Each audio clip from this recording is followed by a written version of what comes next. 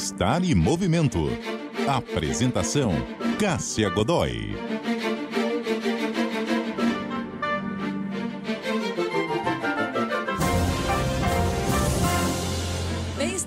Movimento no ar para falar sobre mobilidade e flexibilidade. Qual que é o espaço do alongamento, dos exercícios de flexibilidade na sua rotina? Aliás, você coloca esses exercícios na sua rotina? A gente vai falar a respeito desse assunto com três convidados muito especiais e saber por que, que é importante garantir que esse tipo de prática seja constante no dia a dia. Nós estamos aqui com a doutora Cristina Gruni, que é médica cardiologista do exercício, participou de uma pesquisa que foi realizada aqui no Brasil, também em outros países, com mais de 3.100 pessoas.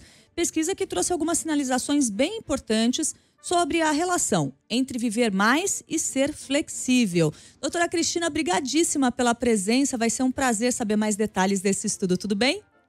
Tudo bom? Eu que agradeço o convite para estar participando aqui do programa. E nós temos também convidados aqui que colocam a questão da mobilidade, da flexibilidade, do alongamento em primeiro plano na rotina de atividade física. Quem está que tá com a gente? O Marcelo Laurito de Batista, que é técnico em informática da USP ele é praticante de diversas modalidades físicas, inclusive a moestabilidade. Daqui a pouquinho a gente vai saber mais o que é a moestabilidade. Uhum. Marcelo, bom. obrigada por estar aqui conosco hoje. Eu que agradeço por poder estar participando. É um prazer enorme. E quem está com a gente também, a professora de moestabilidade, que a gente vai saber direitinho o que é já já, que é a Vera Lúcia Gonçalves, educadora física, pós-graduada em Fisiologia do Exercício, professora do Centro de Práticas Esportivas da Universidade de São Paulo. Vera, obrigada por estar conosco aqui hoje. Vai ser um prazer saber um pouco mais da estabilidade com você. E a gente vai entender como funciona, inclusive queremos demonstrações aqui. Como que você está? Eu estou ótima, muito feliz de estar aqui com vocês. E vai ser muito divertido, né? Vai ser muito divertido. Vamos mostrar na prática na o que prática. é amor e estabilidade. Muito bom. A gente vai começar essa conversa falando um pouco desse papel da mobilidade na qualidade de vida. Isso já é algo muito conhecido, tanto que as pessoas costumam falar: "Ah, eu faço atividade física hoje para quando eu tiver mais velha, para quando eu tiver mais velho, eu ter condições de ter aquela rotina do dia a dia, de fazer as minhas coisas sozinho, sozinha". Então, todo mundo sabe que isso é importante, a mobilidade. Mas esse estudo, cujo, cuja uma das autoras é a doutora Cristina Gruni, ele traz aqui algumas informações importantes em relação à longevidade, o quanto a longevidade uh, pode ser aí afetada quando a pessoa é mais flexível e afetada da melhor maneira possível, ou seja, a pessoa mais flexível pode viver mais. Então, eu quero saber os detalhes desse estudo, doutora Cristina, como que ele foi realizado? Bom, então, isso é uma coisa bastante interessante, né? Nós sempre tivemos essa, justamente essa impressão de que a flexibilidade seria importante para a qualidade de vida, mas em relação a desfechos é, mais relevantes, né? Mais relevantes que em relação à morte, outros desfechos em saúde, nós não tínhamos esse tipo de informação. Então, esse foi um trabalho que já foi desenhado há vários anos, assim como outros estudos epidemiológicos. Então, tem 30 anos que nós começamos a aplicar o FlexiTest, que é o método que nós utilizamos para avaliar a flexibilidade dos pacientes que foram incluídos nessa pesquisa, e nós acompanhamos esses pacientes por uma média de tempo em torno de 13 anos. Foram mais de 3.100 pacientes, homens e mulheres, e a partir da flexibilidade aferida por este método, nós determinamos quem eram aqueles, aquelas pessoas mais flexíveis e menos flexíveis, e olhamos quais desfechos que eles tiveram, então, a longo prazo. E o que nós podemos observar é que tanto homens e mulheres que têm uma baixa flexibilidade, eles evoluíram, a tem uma morte precoce uma, mais prevalente, digamos assim, do que aqueles que têm uma alta flexibilidade. Então, o risco de vir a óbito nesse tempo médio de 13 anos foi até cinco vezes maior naqueles indivíduos com uma menor flexibilidade em comparação com aqueles indivíduos mais flexíveis. Olha que interessante. E esse flexi teste, como que ele é aplicado? Porque eu me lembro que teve uma época que eu fazia uma aula de funcional e era um professor muito bacana que fazia um acompanhamento também dessa questão do alongamento dos alunos.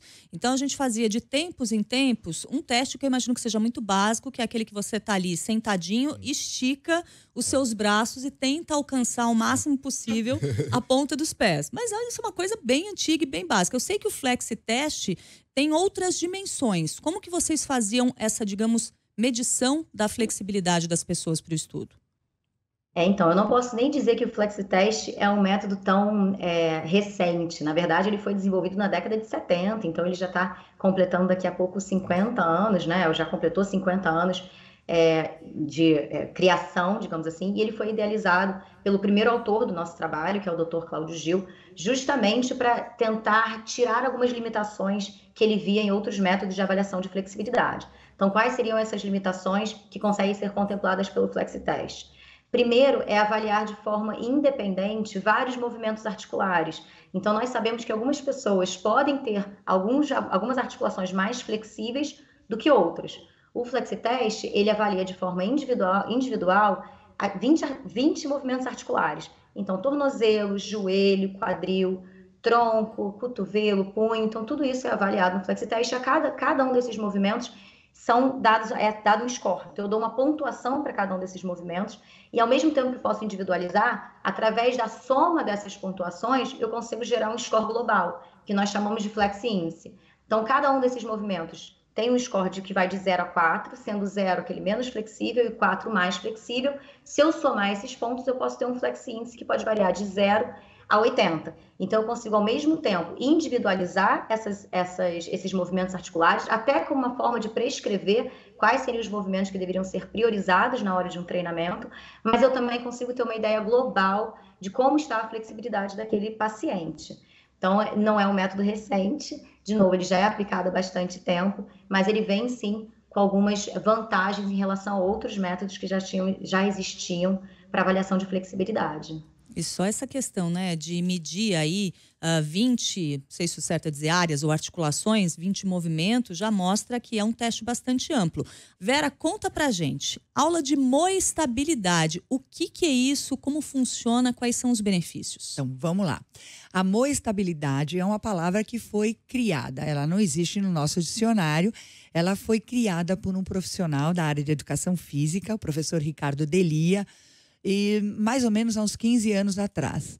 E ele criou essa palavra exatamente para a gente unir as duas valências muito importantes que são a mobilidade e a estabilidade. Essas duas valências para o indivíduo, elas são fundamentais para que você tenha uma boa resposta, não só nas suas atividades diárias, funcionais, né? Mas também nas esportivas. Então, são, e são valências que trabalham sempre hum. juntas. Não tem como você separar uma da outra, levando em consideração os nossos movimentos do dia a dia e os movimentos esportivos, que são bem complexos. Ele criou essa palavra, criou a atividade, mas, na verdade, quem ultimamente tem realmente abraçado muito a estabilidade, a ideia da estabilidade, é um outro profissional da nossa área, o professor Cauê La Scala e ele, eu comecei a seguir essa atividade tem uns três anos e me apaixonei, porque eu entendo que ela é imprescindível para que a gente tenha realmente uma boa qualidade de vida. Hum. Independente de você uh, ser um praticante de um esporte, um corredor, um maratonista, como é o caso dos meus alunos, ou uma dona de casa que precisa exatamente combinar essas valências para ela poder ter uma vida saudável. Então me apaixonei, comecei a trabalhar com isso, levei essa ideia para a USP, para o Centro de Práticas Esportivas da USP, fizemos um balão de ensaio por seis meses, vendo como é que era a aderência do nosso público lá do CP para essa atividade. E foi surpreendente. As turmas estavam sempre lotadas sempre cheias, as pessoas querendo cada vez mais praticar, e a gente acabou colocando isso como um curso. Então, agora, a Moestabilidade faz parte da nossa grade de cursos lá do CPUSP. E é uma atividade voltada para algum público específico? Você estava falando que tem desde maratonista até pessoa que não tem uma atividade física muito regular. Quando a gente pensa em faixa etária, por exemplo, tem alguma restrição? Tem gente que não poderia fazer ou que deve fazer com alguns cuidados? Como que é isso? Não tem restrição nenhuma de faixa etária. Uh, óbvio que cada um, durante o treino, o treino é coletivo, as propostas são feitas, mas a gente sempre prima pela segurança do praticante. Então, ele vai executar dentro do grau de liberdade que a articulação dele permite. Alguns têm mais mobilidade, alguns têm mais estabilidade, outros nem tanto. Então, eles vão aprimorando tanto a, a, mobilidade quanto a estabilidade com o treinamento. Através do treinamento, vai aprimorando e vai melhorando, entendeu? Uhum. E como que começou, Marcela, a sua história com a moestabilidade? Quando que você começou a fazer e por que, que você procurou essa atividade? Na verdade, foi pela Verinha, que é nossa professora de funcional, e ela propôs essa aula para nós às sextas-feiras. Uhum. Que a gente não tinha atividade para fazer na sexta e ela propôs essa atividade, a gente abraçou a ideia, começamos a fazer. E eu, assim, eu tenho problema no ombro, tenho problema no joelho, tenho tendão rompido por causa de musculação e uma série de coisas. E me ajudou muito. Eu tenho, estou praticando já seis, oito meses. Uns oito meses, uns oito mais meses, ou mais ou menos. E me ajudou muito. Me ajudou muito. Hoje em dia eu, eu consigo até dormir.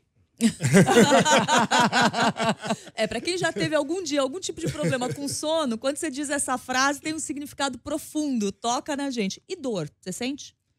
Aí, assim, não vou falar para você que tô zerado, não tô zerado. Mas em, em relação ao que eu tinha antes, assim, melhorou 90%. Certo. Daqui a pouco a gente vai entender quais são os movimentos dessa aula que eu tô super curiosa.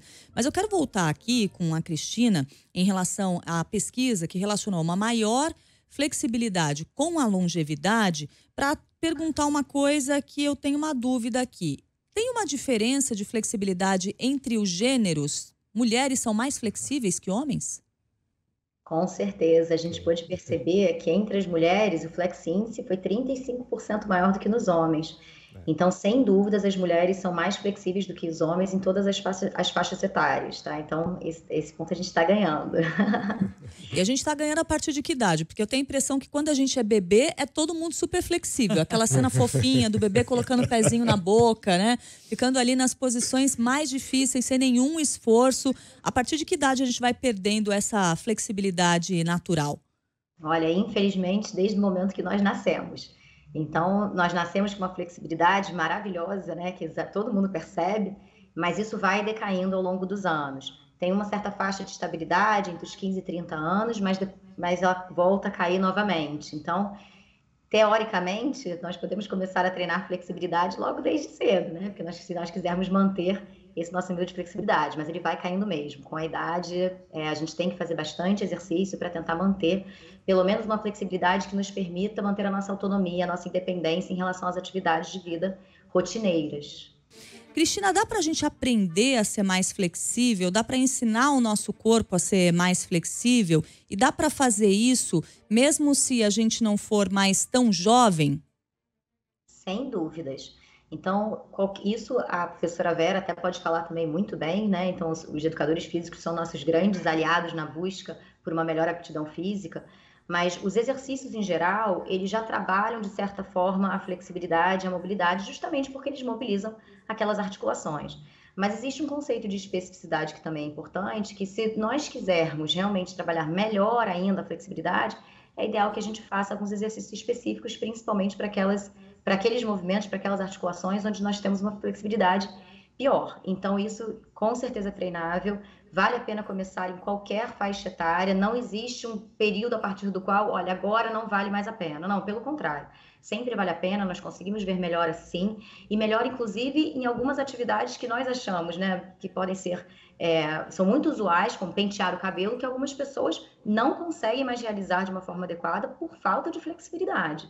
Então, é fundamental que assim que a gente, que a gente introduz os exercícios de flexibilidade, sempre que possível, eles são fundamentais para a nossa qualidade de vida. Agora, nós já sabemos também para a longevidade. Muito bom. E que exercícios são esses que a gente pode, Vera, colocar no nosso dia a dia para melhorar a nossa aptidão quando o assunto é mobilidade? Aliás, vamos fazer o seguinte: aproveitar que o Marcelo está aqui, você já me falou que ele é um ótimo aluno. Então ele vai demonstrar para a gente enquanto você conta alguns desses exercícios. Legal. É assim, é isso que a, que a doutora comentou, que não existe realmente uma idade para você começar a treinar. Treinar, sempre. Independe da idade que você tem, da fase da vida que você está. o nosso corpo ele vai se adaptando. É muito importante que você não esqueça disso. E outra questão também super importante é com relação à funcionalidade.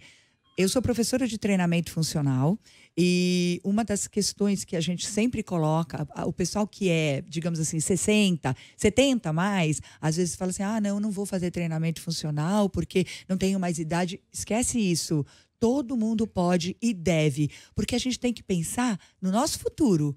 Como é que a gente vai estar tá quando a gente estiver um pouquinho mais velho? Uhum. Será que a gente vai querer alguém nos ajudando, como ela falou, né? A pentear o cabelo, né? A ir ao toalete, a deitar e levantar da cama. Então, o treinamento funcional é extremamente importante para que a gente mantenha a funcionalidade.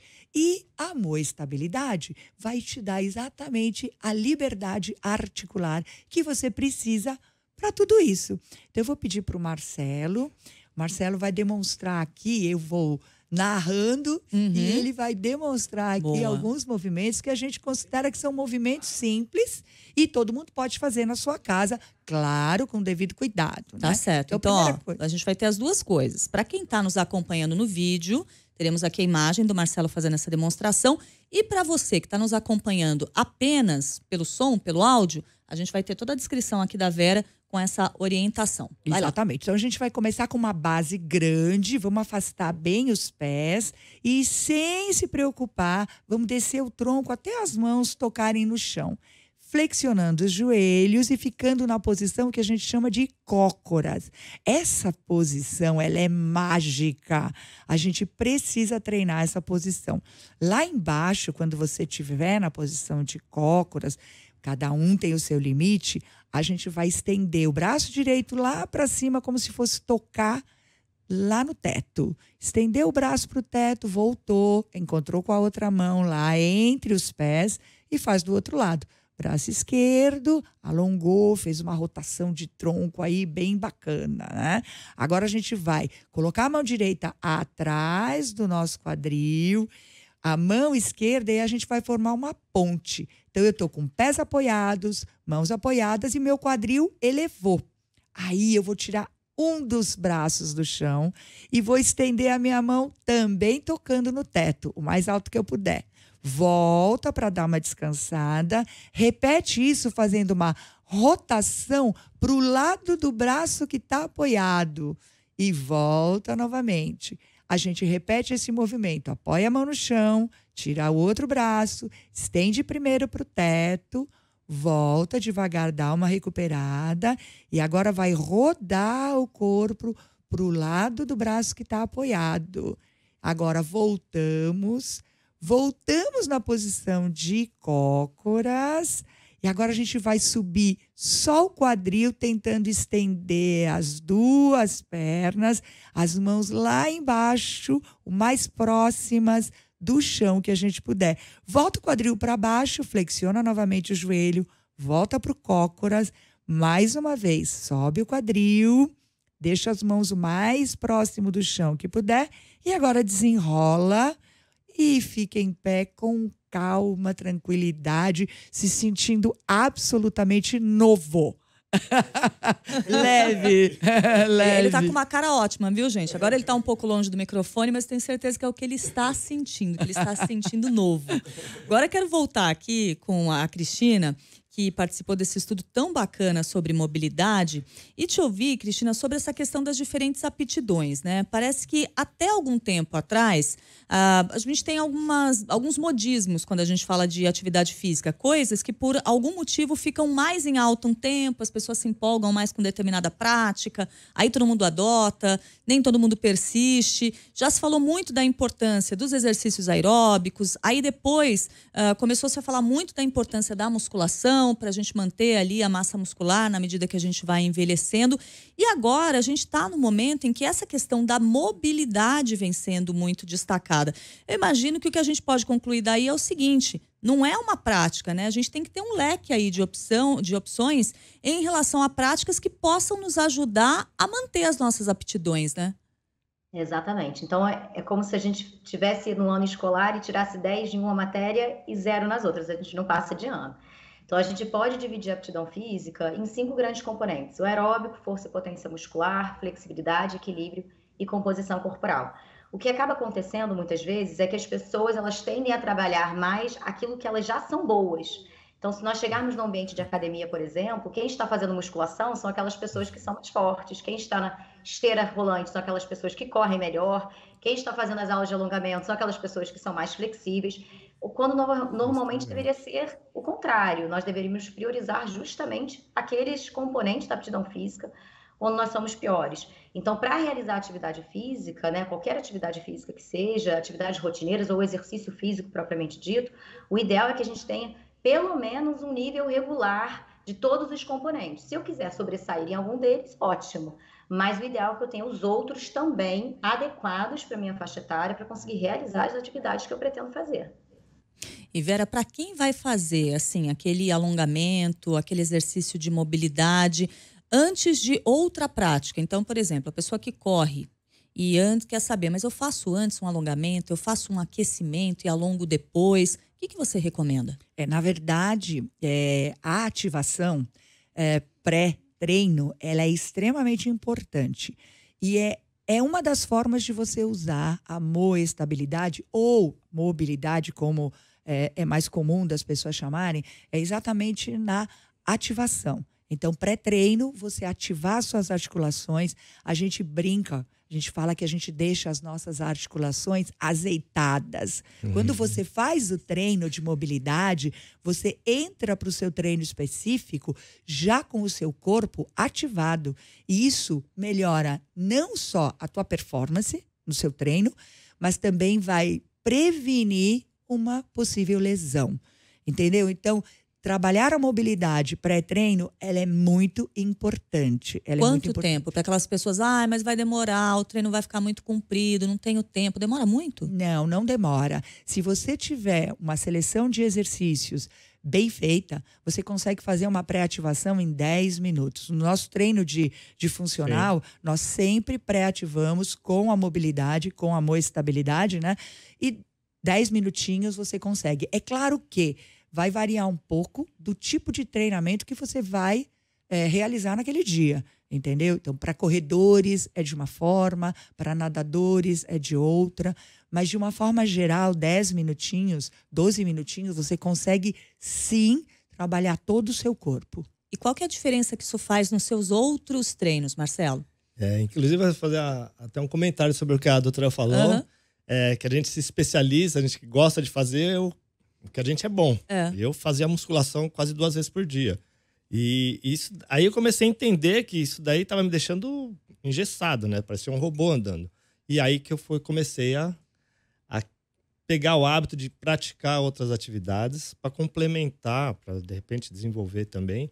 E nunca fui flexível, nunca tive flexibilidade, era duro. E a, esse, essa atividade me passou a, de, a, a deixar mais flexível, ajuda na, no ganho de massa, de massa, ajuda a desenvolver a musculatura e sem contar o bem-estar, né? Uhum. Você consegue se movimentar melhor, a, as dores diminuem muito, é, a recuperação é muito mais rápida.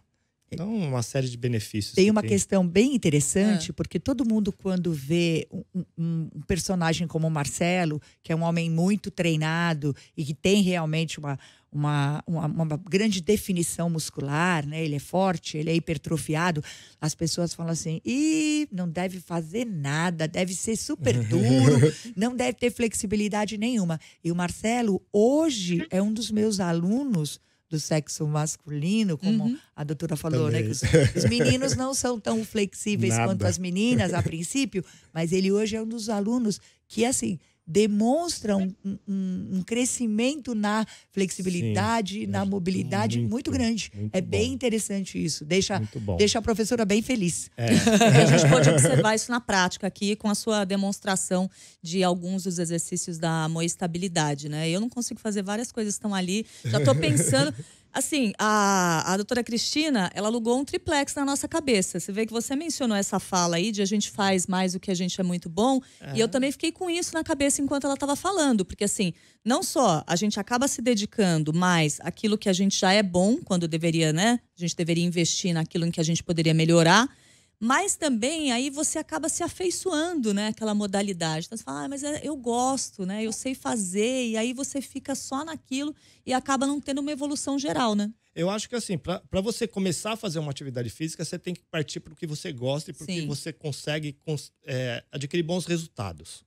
Para te incentivar a continuar. A partir do momento que você foi picado pelo bichinho, que você gosta daquilo, que você fica apaixonado pela atividade física, você vai procurar é, se melhorar em outras, em outros pontos, entendeu? Então, ah, faço só musculação? Não. Aí começa a partir para a parte de cardio, para a parte de flexibilidade, de estabilidade, que vão, vão agregar na sua nas suas atividades, né? É diversificar, diversificar. Né? Diversificar é sempre é. muito importante, como ela colocou mesmo, quando a doutora colocou. Quer dizer, é, a gente tem uma, uma relação de capacidades físicas que, bem treinadas, né, nos dão uma performance boa. E eu não estou falando de performance esportiva. Estou falando de dia a dia mesmo. Performance da vida, né? Exatamente, performance da vida. Você precisa ter o condicionamento cardio, você precisa ter boa é, é, é, força, você precisa ter flexibilidade, tudo isso. Então é muito importante que as pessoas entendam isso.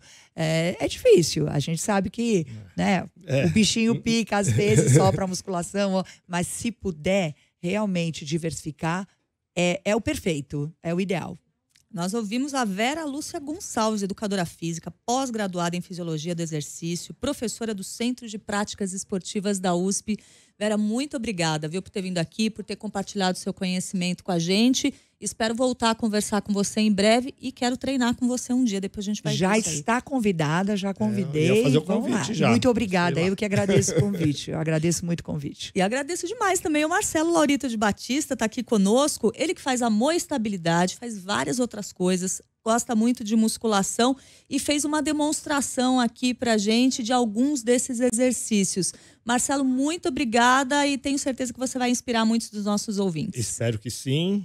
Fazemos um convite para você participar lá com a gente também. E agradeço a participação. E destacar também a presença da Cristina Gruni, que é médica cardiologista do exercício, participou dessa pesquisa super ampla sobre mobilidade, flexibilidade, mostrando que há indícios de que as pessoas mais flexíveis são pessoas que vivem mais. Doutora Cristina, obrigada. E eu espero voltar a conversar com você em breve. Olha, eu que agradeço e agradeço muito a oportunidade de falar sobre isso, né? Sobre a importância da aptidão física, agora especialmente da flexibilidade. E agradecer muito também os profissionais de saúde, os educadores físicos, os fisioterapeutas que ajudam nessa promoção do bem-estar, nessa promoção da saúde. Isso é fundamental.